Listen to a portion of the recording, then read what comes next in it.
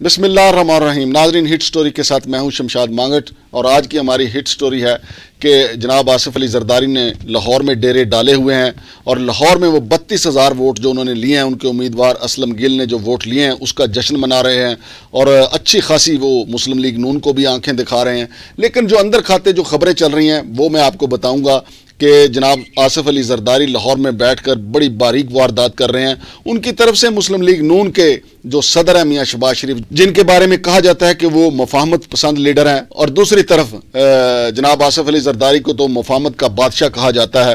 مصدقہ ذرائع کی خبر ہے کہ جناب آصف علی زرداری نے یہ پیشکش کی ہے مسلم لیگ نون کو کہ اگر وہ سینٹ میں عدم اعتماد کے لیے پیپلز پارٹی کے ساتھ تعاون کریں اور پیپلز پارٹی کے سابق وزیر اعظم جناب یوسف رضا گلانی کو چیئرمین سینٹ بنانے میں معاونت کریں تو پنجاب میں آصف علی زرداری جو ہیں، وہ وہ پانسا پلٹ سکتے ہیں۔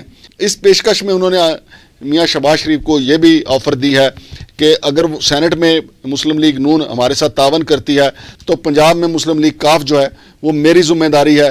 اور پنجاب کی پگ جو ہے وہ حمزہ شہباز شریف کے سر پہ رکھ دی جائے گی۔ اس حوالے سے کہا جاتا ہے کہ شہباز شریف نے اپنے بھائی جان جناب میاں نواز شریف سے بھی مشورہ کیا تھا، لیکن انہوں نے فوری طور پہ ان کو روک دیا ہے کہ اگر اس زرداری فارمولے پہ عمل کیا گیا تو زیادہ فائدہ زرداری صاحب کو ہوگا، چونکہ ان کا جو چیئرمین سینٹ ہے وہ تو تین سال کے لیے ہوگا، لیکن موجودہ حکومت کی مدت جو ہے وہ دو سال باقی ہے۔ اور اسی طرح پنجاب میں اگر تبدیلی آتی ہے تو شہباز شریف کو دو سال ملیں گے۔ لہٰذا ہم اس فارمولے پہ نہیں جائیں گے۔ البتہ میاں نواز شریف نے ایک اور فارمولہ جو ہے شباز شریف کو دیا ہے۔ انہوں نے کہا ہے کہ اس سے پہلے کہ آصف علی زرداری پرویز الہی سے بات کریں اور ان کو اپنے کیمپ میں لے جائیں۔ لہٰذا مسلم لیگ نون کا ایک وفد ان کے پاس جائے اور ان سے کہے کہ اگر آپ پنجاب کی وزارت اعلیٰ چاہتے ہیں تو مسلم لیگ کاف جو ہے مسلم لیگ نون کی معاونت کرے۔ تو ہم ان کو باقی دو سالوں کے لیے وزیر اعلیٰ پنجاب بنانے کے لیے معاون ثابت ہو سکتے ہیں۔ اس سلسلے میں مسلم لیگ نون نے ایک وفد بھی تشکیل دے دیا ہے جو چند روز میں پرویز لائی سے ملاقات کرے گا، جو کہ اسپیکر پنجاب اسمبلی ہیں اور ان کے سامنے یہ آپشن رکھے گا کہ مسلم لیگ کاف اگر مسلم لیگ نون کے ساتھ تعاون کرتی ہے تو پنجاب میں تحریک عدم اعتماد لا کے تو ایک بار پھر پنجاب کی پگ جو ہے پرویز لائی کے سر سج سکتی ہے۔ تو ناظرین، ایک سینٹ کے حوالے سے آپ کو یہ چیز مد نظر رکھنی ہوگی کہ سینٹ میں اس وقت حکومت کے پاس جو ہیں، اڑتالیس اراکین ہیں، جن میں چھ آزاد ہیں۔ جبکہ اپوزیشن کے ممبران کی تعداد اکیاون ہے۔ اس طریقے سے وہاں پہ اگر اپوزیشن متحد ہو جائے تو تحریک عدم اعتماد یقینی ہے۔ لیکن چونکہ اپوزیشن متحد نہیں ہے پیپلز پارٹی کا موقف اور ہے اور مسلم لیگ نون کا موقف اور ہے۔ اور اس کے علاوہ مولانا فضل الرحمان جو ہیں، وہ بھی میاں نواز شریف پہ دباؤ بڑھائے ہوئے ہیں کہ آصف علی زرداری کے فارمولے پہ عمل نہ کیا جائے، کیونکہ آصف علی زرداری کے فارمولے میں زیادہ فائدہ پیپلز پارٹی کا ہوگا۔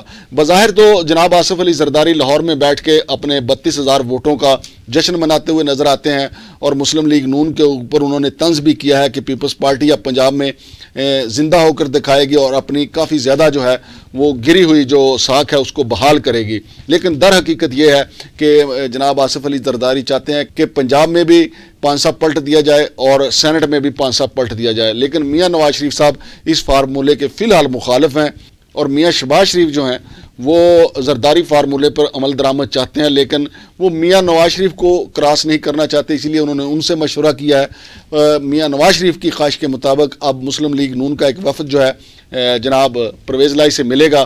ہو سکتا ہے پرویز لائی جو ہے اگر رضامندی ظاہر کر دیں تو پھر پنجاب میں تبدیلی آ جائے، لیکن پرویز لائی یقینی طور پہ یہ مشورہ راول پنڈی اور اپارا سے کریں گے۔ چونکہ مسلم لیگ کاف جو ہے، وہ کوئی بھی سٹینڈ لینے سے پہلے اپارا اور راول پنڈی سے مشورہ کرنا نہیں بولتے اور راول پنڈی اسلام آباد میں یہ خبریں بھی گرم ہیں کہ اب جو کہا جاتا تھا کہ حکومت اور عسکری قیادت ایک پیج پہ ہے، وہ ایسا نہیں ہے۔ چونکہ قومی سلامتی کمیٹی کا جو اجلاس ہوا تھا، اس میں جناب عمران خان نے ایک بار پھر کور کمانڈر پشاور جناب جناب فیض حمید کو بلایا۔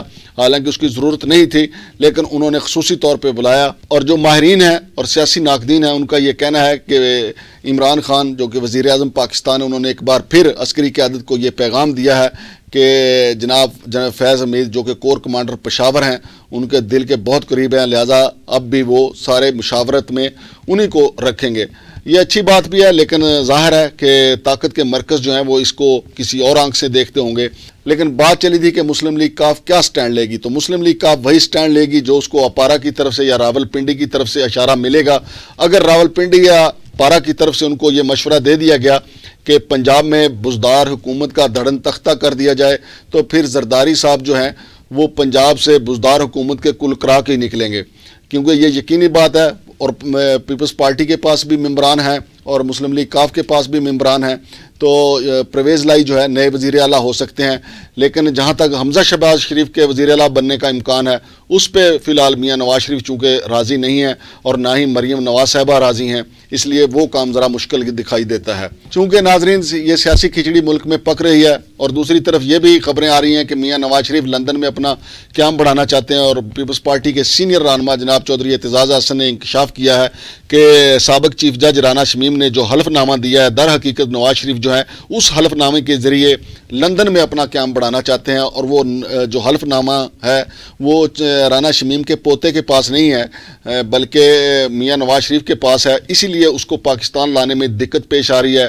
بالکل اتنی ہی دقت پیش آ رہی ہے جتنی کہ میاں نواز شریف کو پاکستان واپس لانے میں دقت آ رہی ہے۔ کیونکہ اب تو کوئی مسئلہ ہی نہیں ہے۔ اگر رانا شمیم چاہیں تو اپنے پوتے کو کہیں اور وہ فوری طور پہ ادھر سے کسی بھی تیز ترین جو ڈاک ہے اس کے ذریعے بھجوا سکتے ہیں۔ لیکن وہ کہیں ایسی جگہ پہ پھنسا ہوا ہے، جیسا کہ چودھری اعتزاز حسن کا کہنا ہے کہ وہ حلف نامہ میاں نواز شریف کے پاس ہے اور اس حلف نامے کی اصل حقیقت یہ ہے کہ میاں نواز شریف لندن میں قیام کے لیے اس کا سہارا لینا چاہتے ہیں۔ جبکہ دوسری طرف اب اسلام آباد ہائی کورٹ کی وجہ سے رانا شمیم پہ بڑا دباؤ ہے۔ ان کو کہا جا رہا ہے کہ اصل حلف نامہ لے کے آئیں۔ اگر وہ اصل حلف نامہ لے کے نہیں آتے تو تیرہ دسمبر کو ان کے اوپر فرد جرم عائد کر دی جائے گی۔ اب تیرہ دسمبر دیکھتے ہیں کہ اصل حلف نامہ وہاں سے آتا ہے یا نہیں۔ اور اگر آ گیا تو کیا میاں نواز شریف کے قیام میں وہاں کوئی رکاوٹ آئے گی یا نہیں؟ میرا ذاتی طور پہ خیال ہے کہ اگر وہ حلف نامہ یہاں آ بھی جائے تو اس سے میاں نواز شریف کے وہاں رکنے میں کوئی رکاوٹ نہیں ہوگی، کیونکہ اس کی فوٹو کاپیاں تو وہاں بھی ہوں گی۔ ویسے بھی وہاں کا جو نوٹری آفیسر ہے، اس نے تصدیق کر دی ہوئی ہے کہ میں نے اس حلف نامے کو نوٹری کیا تھا، اس کی تصدیق کی تھی۔ لیکن اب دیکھتے ہیں کہ رانا شمیم وہ حلف نامہ پاکستان لے کے آتے ہیں یا نہیں۔ یا میاں نواز شریف اس کو اپنے پاس ہی رکھتے ہیں، یہ بھی چند روز میں پتہ چل جائے گا۔ اصل بات یہ ہے کہ سابق صدر آصف علی زرداری لاہور میں بیٹھے ہوئے ہیں اور اس کی پریشانی مولانا فضل الرحمان کے لیے بھی ہے اور مسلم لیگ نون کے لیے بھی ہے۔ مسلم لیگ نون اور مولانا فضل الرحمان جو ہے آصف علی زرداری کی ہر بات کے بعد یہ سوچتے ہیں اور کئی گھنٹے سوچتے ہیں کہ اس میں ہمارا کتنا فائدہ ہے اور آصف علی زرداری کا کتنا فائدہ ہے۔ جبکہ آصف علی زرداری نے دونوں فریقین کو یہ واضح کر دیا کہ اگر آپ میرے فارمولے پہ چلیں گے تو آپ کو پنجاب مل جائے گا، ہمیں سینٹ مل جائے گا۔ لیکن دیکھتے ہیں مولانا فضل الرحمان بھی بہت ڈرے ہوئے ہیں اور میاں نواز شریف بھی زرداری فارمولے پہ عمل کرنے سے کنی کترا رہے ہیں۔ آئندہ چند روز میں یہ بات بھی واضح ہو جائے گی۔ شمشاد مانگڑ کو اجازت دیجیے اللہ حافظ۔